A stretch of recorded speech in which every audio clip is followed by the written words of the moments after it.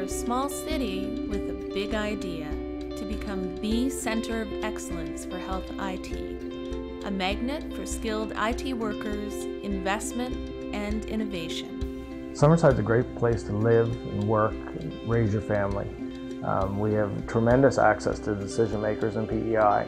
Uh, we don't really run around through the bureaucracy. We're able to get things done here. Um, it takes me about five minutes to drive to work. My kids get on the bus. It only takes them five or seven minutes to get to school. Uh, we don't have to worry about them. We have a great education system. We're really lucky to be able to live and work and do what we do here in PEI.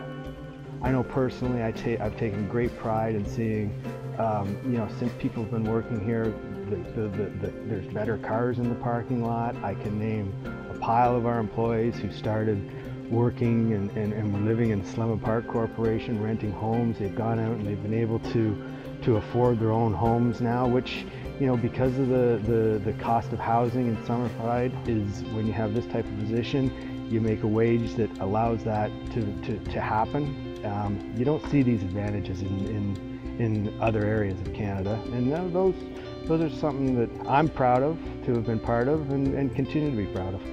Summerside is growing. There's some great creative things happen in the community from a quality of life perspective.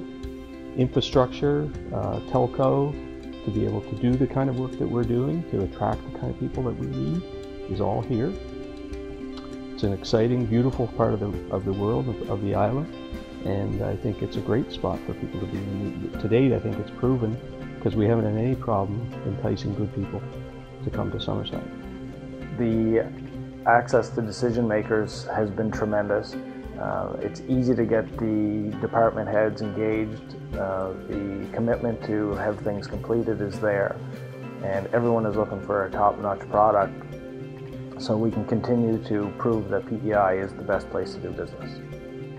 The local workforce that we have here is second to none. Um, I'm very in a very enviable position because I've got the talent the skills, the, the IT skills, and the software skills that are needed in this team um, that some of my colleagues have and then some other organizations don't have and that are searching for. But on top of that, what we have and what we really are able to enjoy is the, is the work ethic that comes, I don't know if it comes from Summerside or if it comes from PEI, but we sure as heck have it here now. And couple that with the skills, the IT skills, what I like to call the white collar skills, coupled with the blue collar attitude, the blue collar work ethic, and it's second to none. Although I could be working anywhere in the world, it's great to be working in healthcare IT in Summerside, PEI. Uh, your family's close by and it's a great small city and it's very comfortable working here.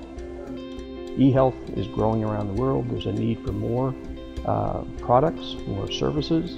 Uh, the global community allows us as a vendor to be able to do our work from, from Summerside for our global community. Um, and so it's really, it's up to us to decide what we want to do and what part of that industry we want to play a role in.